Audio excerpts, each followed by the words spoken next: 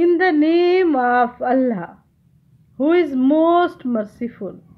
دا especially merciful بسم اللہ رحمٰن الرحیم آج ہم ninth class English unit number six the Quaid vision and Pakistan قائد کا تصور اور پاکستان اس کی ہم ٹرانسلیشن اور ریڈنگ کریں گے with correct pronunciation. During the early and difficult times of Pakistan's emergence, Qaid Azam Muhammad Ali Jinnah undertook a countrywide tour. He aimed at raising people's spirit. Do not be overwhelmed by the enormity of the task, he said in a speech at Lahore. Urdu translation ظہور پاکستان کے ابتدائی اور کٹھن وقتوں کے دوران قائد اعظم محمد علی جنہ نے پورے ملک کے دورہ کیا پورے ملک کا دورہ کیا ان کا مقصد لوگوں میں جذبہ ابھارنا تھا لاہور میں انہوں نے ایک تقریر میں کہا کام کی شدت سے مغلوب نہ ہوں There are many examples in the history of young nations building themselves up by sheer determination and force of character. You are made of sterling material and second to none. Keep up your morale. Do not be afraid of death. We should face it bravely. to save the honor of Pakistan and of Islam. Do your duty and have faith in Pakistan. It has come to stay. تاریخ میں ایسی نو عمر اقوام کی کئی مثالیں ملتی ہیں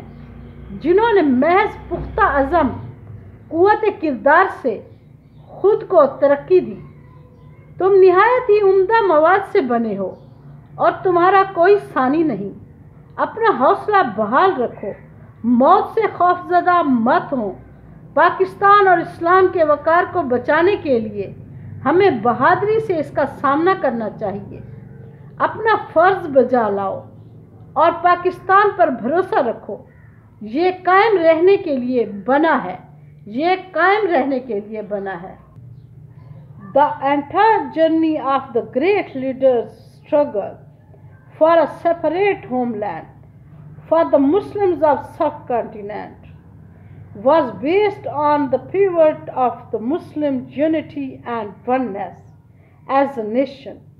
He talked about Pakistan in such clear terms that a common man could understand it. बड़े सगीर के मुसलमानों के लिए ایک الگ وطن کی خاطر عظیم رہنما کی جد و جہد کے پورے سفر کا انحصار مسلمانوں کے بطور ایک قوم کے اتحاد و اتفاق کے بنیادی نقطہ پر تھا انہوں نے پاکستان سے متعلق بات اتنے واضح الفاظ میں بیان کی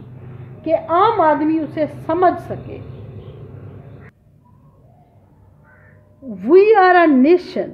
he affirmed three years before the birth of Pakistan. With our own distinctive culture and civilization, language and literature, art and architecture, names and nomenclature, sense and values and proportion, legal laws and moral codes, custom and calendar, history and tradition aptitude and ambition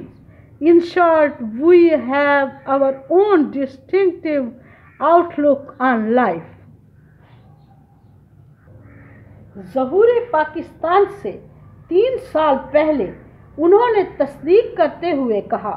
ہم ایک امتیازی تہذیب و ثقافت زبان و ادب فن و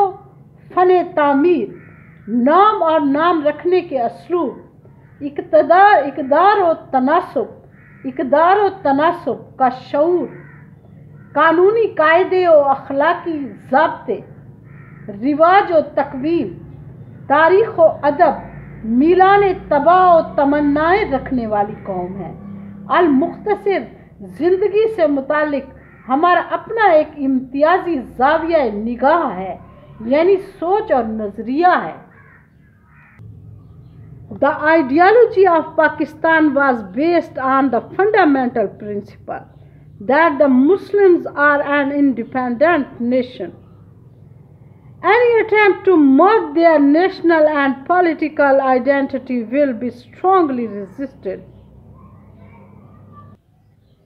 Nazrīya Pakistan इसी बुनियादी असूल पर उसवार jāni कायम था कि मुसलमान एक अलग कौम है ان کے قومی اور سیاسی تشخص کو کسی دوسری قوم کے تشخص میں ضم کرنے کی کسی میں کسی بھی کوشش کی بھرپور مزاحمت کی جائے گی کسی بھی کوشش کی بھرپور مزاحمت کی جائے گی قائد Azam was strong Quaid Azam was a man of strong faith and belief He firmly believed that the new emerging state of Pakistan, based on Islamic principles, would reform the society as a whole. In his Eid message, September 1945, Qaid Azam said Islam is a complete code regulating the whole Muslim society, every department of life collectively and individually. Quaid Azam پختہ عقیدہ اور ایمان رکھنے والے انسان تھے انہیں پختہ یقین تھا کہ اسلامی اصولوں پر مبنی ظہور ہوتی پاکستان کی نئی ریاست مجموعی طور پر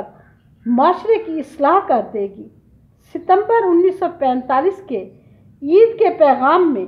قائد اعظم نے کہا اسلام ایک مکمل ضابطہ ہے جو پورے مسلم معاشرے اور زندگی کے ہر شعبے کو Today,